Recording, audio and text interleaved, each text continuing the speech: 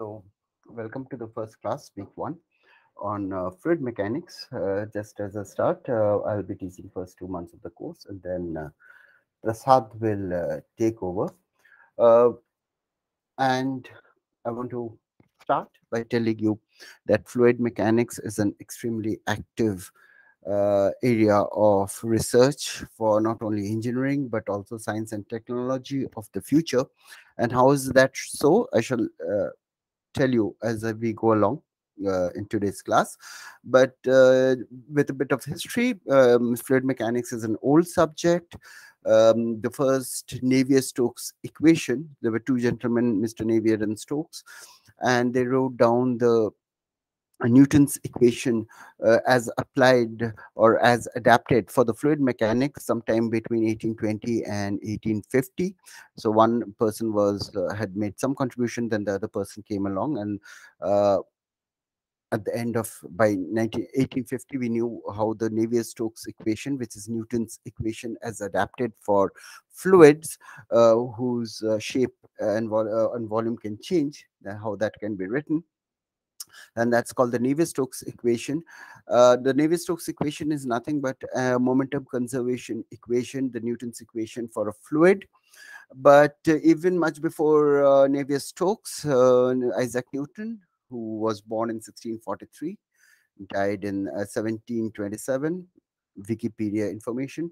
Uh, so basically, he was playing around with fluids and what he observed with water and other simple fluids that when you apply a stress to it a shear stress to it uh, then you basically the fluid starts to flow and you can measure something called the strain rate. And what is that? We'll soon come to it.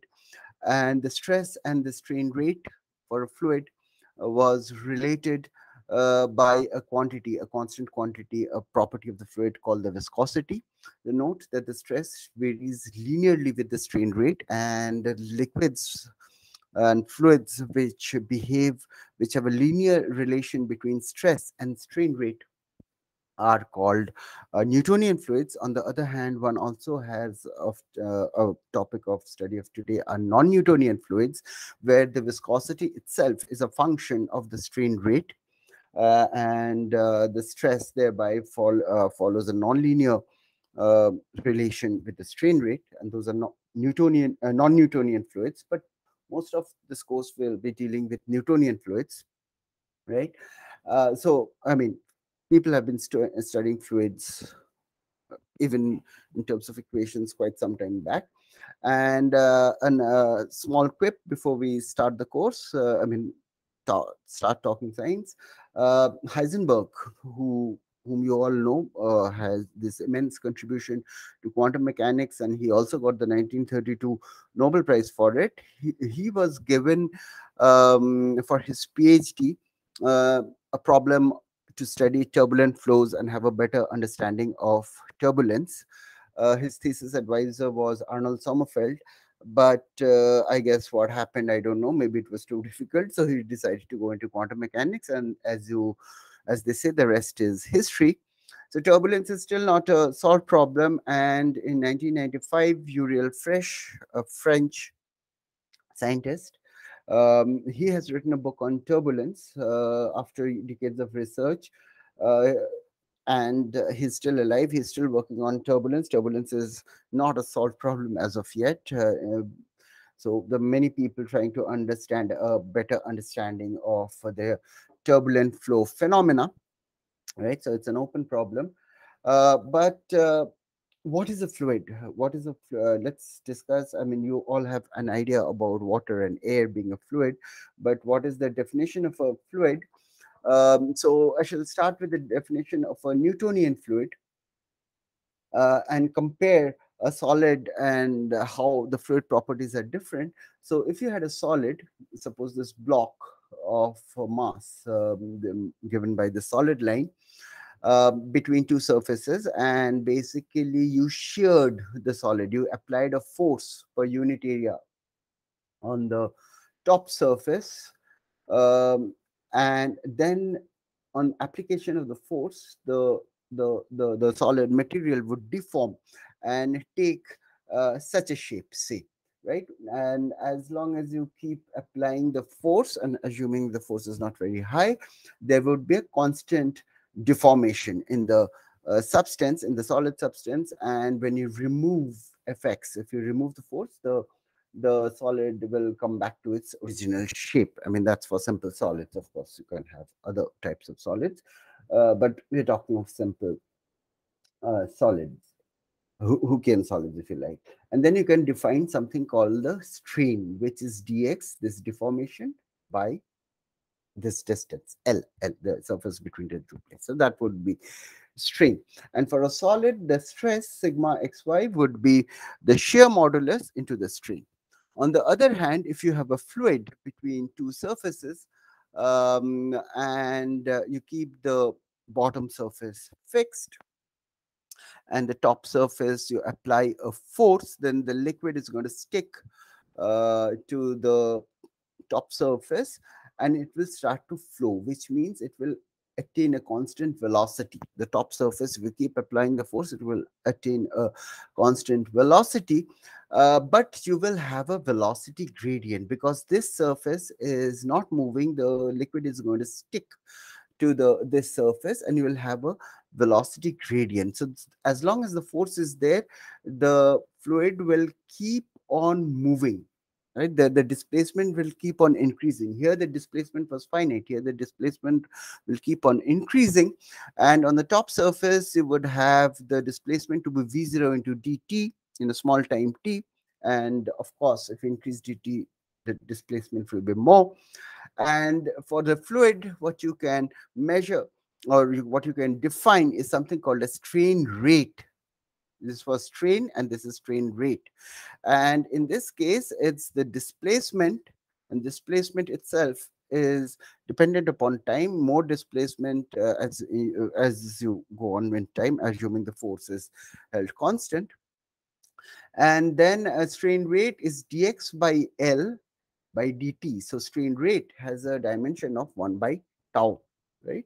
And what is dx? It's v0 into dt uh, i mean if there's more time, then this displacement will be more. And for a fluid, or more accurately, a Newtonian fluid, the stress, the sigma xy, uh, x being this direction and y being this direction, right, will be proportional to uh, viscosity. Uh, uh sorry, the sigma xy will be proportional to the strain rate.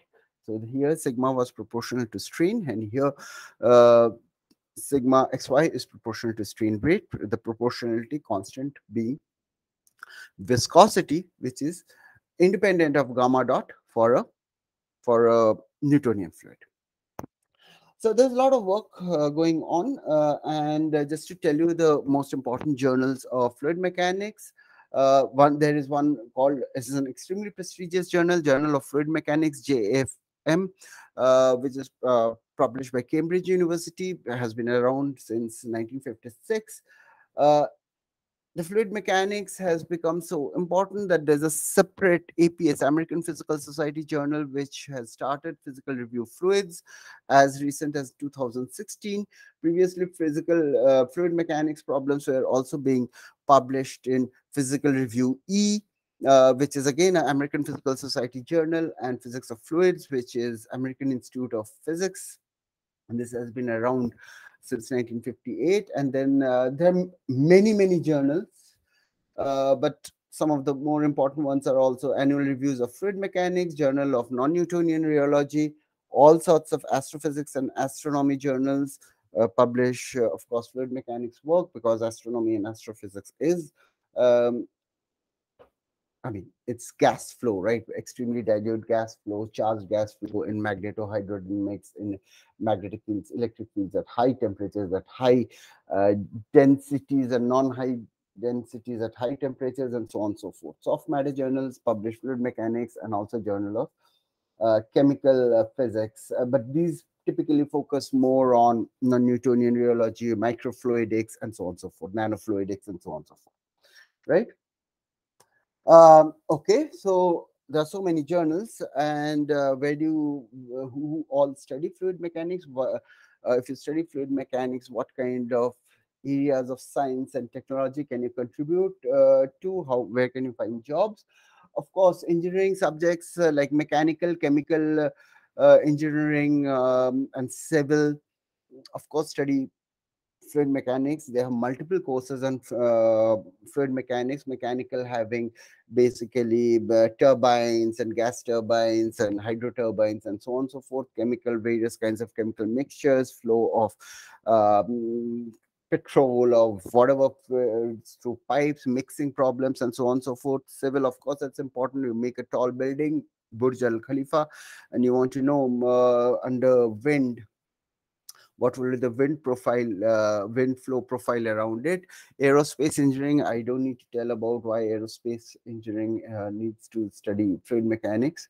Marine, naval, of course, for dams, hydroelectric projects, all of this needs uh, uh fluid mechanics. But you are not uh, uh, engineering students in physics or other branches of science where is fluid mechanics used? Of course astronomy and astrophysics.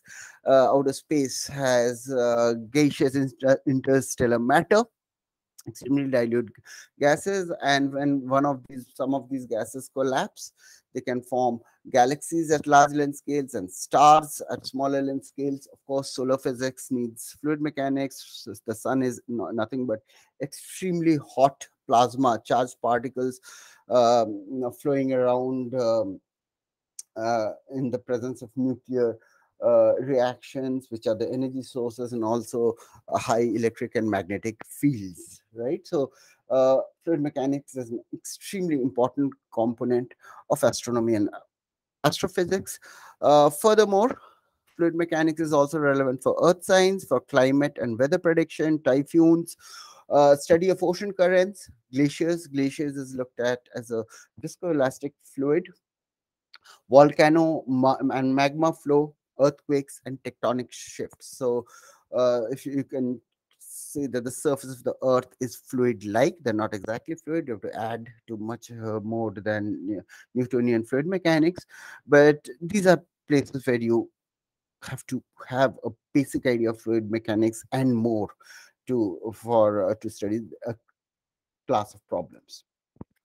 Aerospace and defense again uh, as soon as i say uh, the picture of drones missiles isro rockets uh, they need uh, of course aerospace um, engineers fighter jets and other unmentionable weapons. By this i mean chemical weapons. They need to know at what rate um, uh, chemicals will mix and so on and so forth. It's terrible but that's how life is. Uh, fluid mechanics for biomechanics, if you want to know uh, why a shark is able to move so fast or how the dolphin uh, creates thirst, uh, its thrust to flow, to jump out of water. How are their uh, body shapes suitably tuned? How and why do they how much thrust do they require and so on and so forth right and similarly if you want to know about bird flights uh, why can falcon uh, dive so fast and why can the owl uh, while it flies hardly makes any sound whereas the pigeon makes extremely noisy flights right some birds are able to glide and uh, glide and uh, basically fly over an entire day without getting tired. For that, they need energy efficient ways of flying, right? How is the insect able to fly, uh, fly with such fast uh, flapping of its wings on butterflies and moths? And of course, while uh, studying them is in of interest by itself, of course, that also helps you to figure out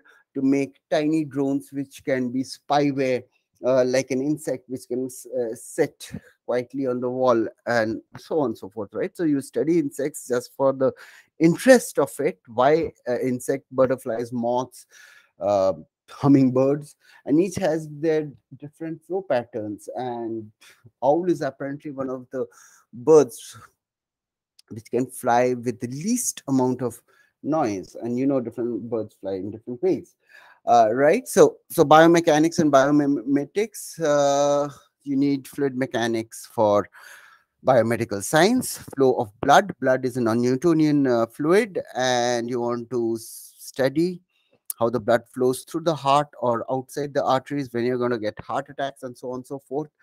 Uh, blood flow through the heart or through the arteries or through thinner arteries, microfluidics, is different from blood flow in the lungs, where there are large surface areas so to allow oxygen exchange. And of course, ion flow, ion flow in neurons needs uh, well electrokinetic flows and so on and so forth. Right? Of course fluid mechanics is important in soft and active matter. Typically we use low reynolds number fluid mechanics to study uh, molecular transport and in biological physics especially intra and intercellular flows within the cell and outside the cell, especially in development biology. So basically, there are flows which are induced within the cell, which uh, in turn create stress, strain, and uh, shape the cell or the tissue. Uh, non-Newtonian flows, microfluidics, nanofluidics used for CPU design. After all, the metal has to flow onto the right place in a controlled manner on the motherboard to design faster CPUs, uh, future drug designing, 3D printing, all of this science and technology is using fluid mechanics. It's used heavily in sports and sports garment, reducing drag in sprints, cycling, swimming, how to de design better motor cars, right? And also of course better design cricket balls if they want you ball, want the ball to see more and so on and so forth. Uh, of course, the bowler doesn't need it, but the person who is designing balls, are, you know about sports. Uh, science, is, has developed into a major thing in many places. Flow through ultra high vacuum uh, in space or in atomic and molecular labs of say Umakant, who uses extremely high vacuum. He has to pump the air out to get his Bose-Einstein uh, condensate at very low temperatures as well as LIGO labs. Right? Flow through porous media. We need to understand uh, how much soil, soil is going to, uh, water is going to seep into the soil. Uh, so that's a porous media. The rocks and soil of different nature. Petrol extraction through rocks and skin. When you apply an appoint, uh, ointment, you need to know how much ointment uh, the uh, thing will be absorbed and also cosmetic products, right? So there's a very wide range of examples, which I hope some of which you had not thought of, where fluid mechanics is used. Uh, of course, household products like ketchup and so on. So that's all non-Newtonian fluids. Okay, so with that background, um, what is fluid mechanics? I mean, I defined previously what is a fluid, but now I'm saying uh, what, what does study of fluid mechanics entail? Of course, measurement of fluid velocities in 3D space. but in this course, we'll be mainly focusing, this being a theoretical classroom course, we'll be uh, focusing on basically the solution of three partial differential equations under various conditions, simplifying conditions. So the three equations, the three partial differential equations are the mass conservation equation, the momentum conservation equation, and the energy equation. So this mass conservation equation is something like del rho del t, rho being the density of a fluid. Now suppose you have some control volume, and suppose there's a flux of matter uh, through the surface. Some mass is flowing out or some other mass is uh, flowing in from some other uh, uh, on the from some other part of the surface. So the flux, the divergence of the flux goes as del rho del t, right? That's the mass conservation equation. And similarly, you have the momentum conservation equation. Suppose you have a surface which is encompassing the some volume right? Then by Gauss's law, which you have studied in your mathematical physics course, then basically the flux can be, uh, the divergence of the flux of momentum can be related to del del t of the local momentum within the volume. And similarly for energy conservation, right? You will have a del E del T, and that will be basically equal to divergence of the energy current right? And when you write down these equations, uh, these fluxes and currents and uh, will be written in terms of density, the viscosity, especially in the momentum conservation equation, energy conservation equation. Uh, if there are surface tension gradients, that will contribute. If there is basically two different fluids of different thermal conductivity, uh, so thermal conductivity um, creates local if you are heating it then basically it will create a temperature gradient due to which there can be convection. You can have flows of compressible fluids or incompressible fluids and then of course heat capacities if because if you're heating it. Right? Uh, different regions can absorb different fluids can absorb different amounts of heat and set up temperature gradients and so on and so forth. You can have cp and cv in general i have written in uh, in terms of c. You have also thermal diffusivity which is nothing but conductivity thermal conductivity k by rho and c heat capacity. Right? And the problem of fluid mechanics is given a certain force distribution as a function of x, y, z, or at certain points, or if boundary conditions are given. So you have, if you uh, if you give force distribution to the fluid and supply it with suitable constitutive equations, uh, constitutive equations basically uh, stress. How does it depend upon uh, the strain rate? Right? Or uh, so that's the force. Uh, that's a constitutive equation for Newtonian fluids, and you can have similar other ones for non-Newtonian fluids. Fick's law. How does the um, mass current or diffusion current depend upon the concentration gradient? And Fourier's law, which says the energy current, which says uh, how much is the energy flux, how is it dependent upon the temperature gradient, right? So, so you, you have the momentum, you have these three equations. And if you know the force distribution, have the constitutive equations, and given suitable boundary conditions, depending upon what you specify, uh, you can find out quantities like velocity as a function of space and time, density as a function of space of time is then if density is varying, temperature grade uh, as a function of space and time. If suppose there's convective flows and mass is flowing from one region to the other, how does the temperature change? Stress gradients and pressure gradients. So it depends. So some of it you can specify, some of it you can control, and you measure the other, or you calculate the other quantities. Uh, if you already know your flow fields, you might be calculating T of R. On the other hand, if you are controlling uh, T of R at the boundaries, you might be interested in knowing the flow fields and so on and so forth.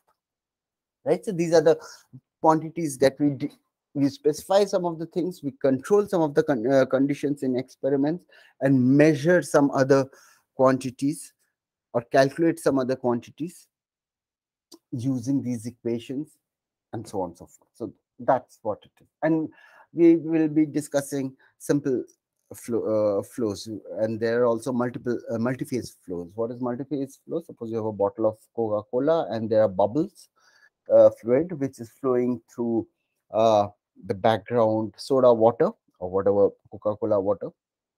It's multi-phase flows but we are not discussing that right?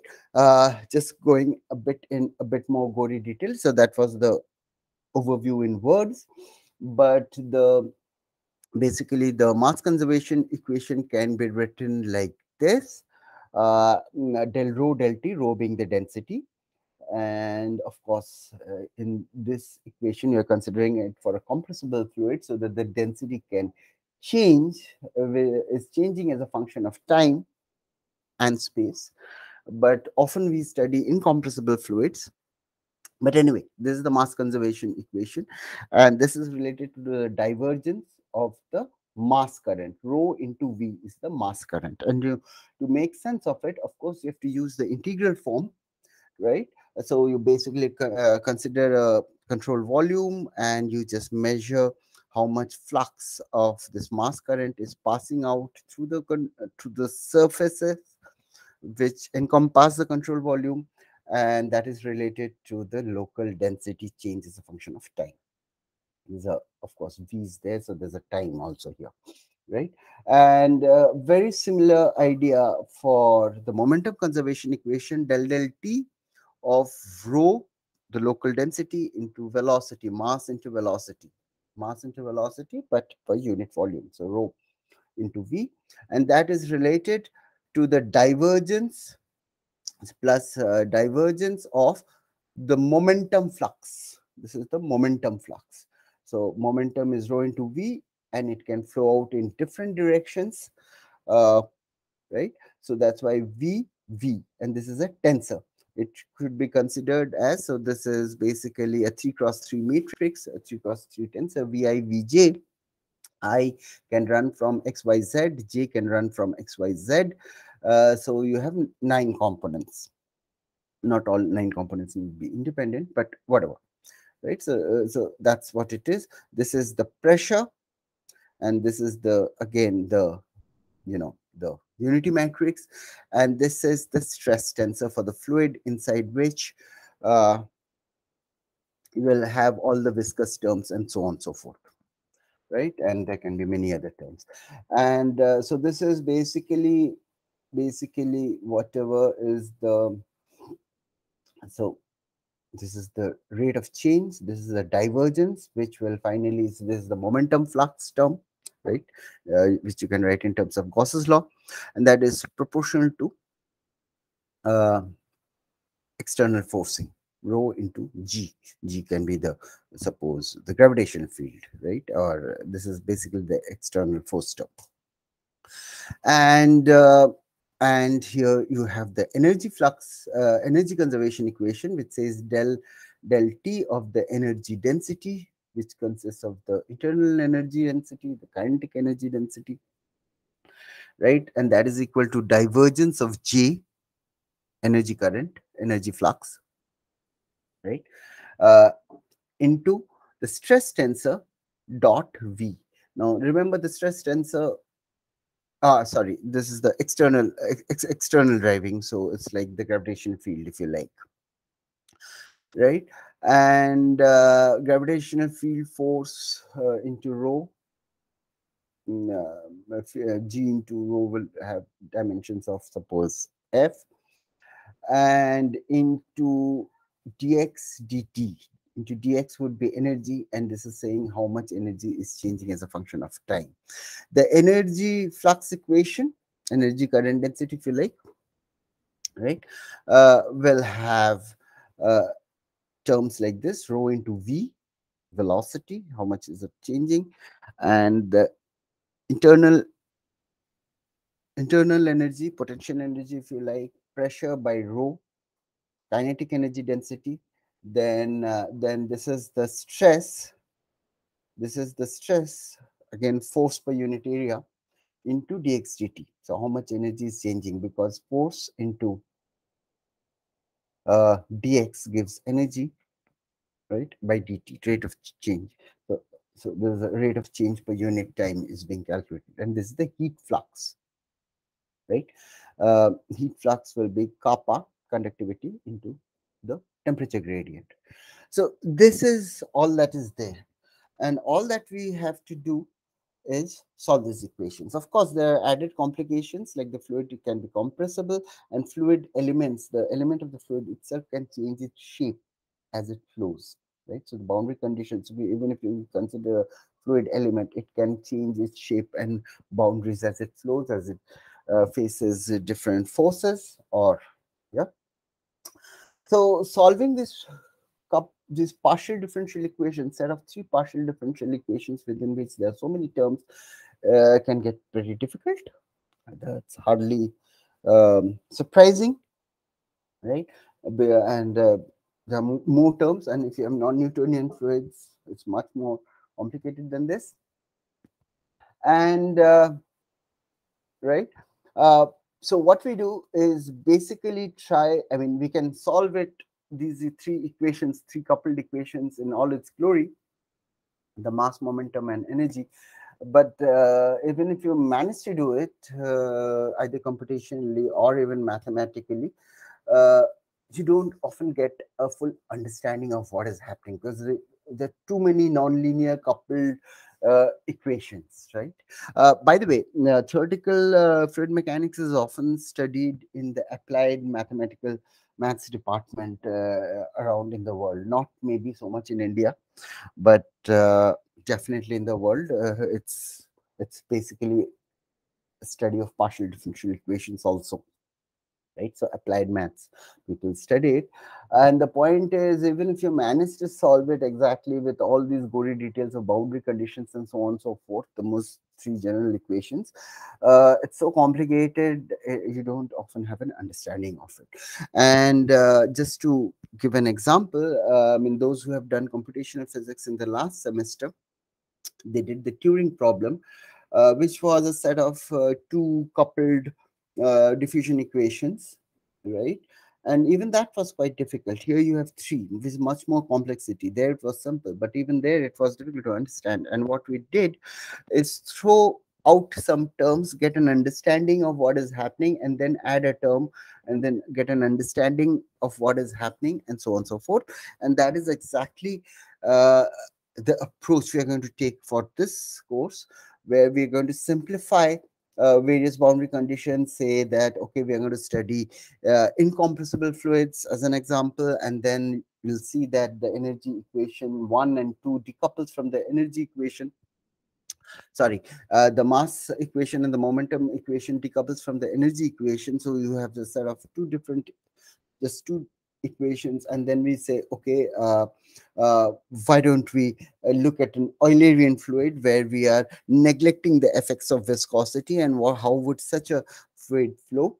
And one can have good examples of um, Eulerian fluid in nature. And then what would be the flow lines like or how would it behave? Suppose we ignore temperature gradients we ignore uh, convection and so on and so forth how would the flows be? So having understood that we'll add some more complication and say okay let's now see how the fluid flows across a more slightly more complex uh, boundary condition. And then we'll say okay now if we study compressible flow um, what are the simplifying assumptions we can make and so on and so forth. So this is going to be the uh, approach right? So so the rest of the course will be taking various cases and try to get an understanding of fluid flow, heat flow, and so on and so forth, convection flow, and so on and so forth.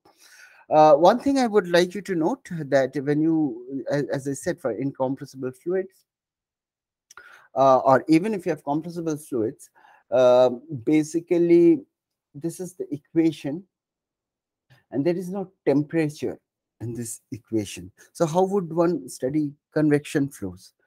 So basically what would happen is you have to write the density, uh, use the equation of state to figure out how density changes as a function of temperature and plug that in and then solve the fluid flow and convection flow. So what I want to impress upon you that there are a lot of nuance, nuances in uh, fluid mechanics uh, in these hidden in these three equations and that is what we're going to study simple cases one by one over the next four months. Right? Uh, when the fluid is incompressible you know, which means the incompressible limit this equation can be simplified. So this divergence these derivatives when they act on rho right? You consider them those contributions to be zero in the incompressible limit because you assume density is uniform as a function of space and time. And then it uh, it basically this equations looks like this rho f into dv dt rho f v dot grad v. You might have seen such an expression. Um, right minus grad p the gradient of pressure can drive the flow viscous terms eta into grad square v. So this is basically from here you get this equation. From here you get this this term, not equation. This term, external field uh, is here, right? And often people work with this equation rather than this one. this simplifies here you are throwing away all derivatives on rho with uniform fluid density right you couple with uh, also with the yeah so we'll discuss things in more detail. Right? So there are quite a few nuances in this. Uh, I already told that uh, to have uh, convection, one has to incorporate density variation in the compressible Navier-Stokes equation using the equation of state. Uh, but uh, for liquids, when you're not considered on even gases under some conditions you consider it to be an incompressible flow with that definitely reduces the complexity of the problem somewhat. It still remains pretty complex right? And with density uh, and for liquids uh, incompressibility is a very valid assumption. Here what i have drawn is the van der Waals equation of state pressure versus specific volume what is specific volume? Volume of per unit mass or suppose a unit vol uh, yeah so it's like inverse density. And here you see that as you increase pressure the density increases or the specific volume decreases.